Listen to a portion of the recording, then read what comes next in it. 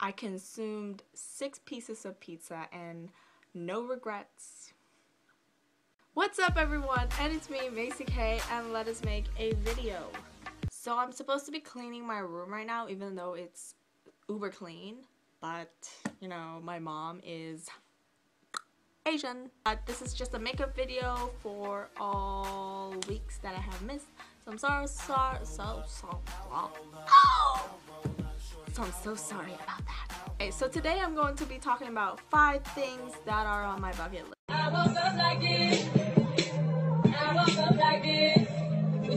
First thing on my bucket list is to meet Leonardo DiCaprio.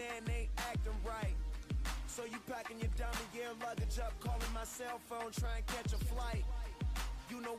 Second thing is that I would be on a game show like Minute to Win It or something like that. Something really challenging because I'm a challenging person. Oh my god. Oh my god. Third thing, to hike up the tallest mountain in the world. Fourth, to swim with dolphins. Five, fifth, five, fifth,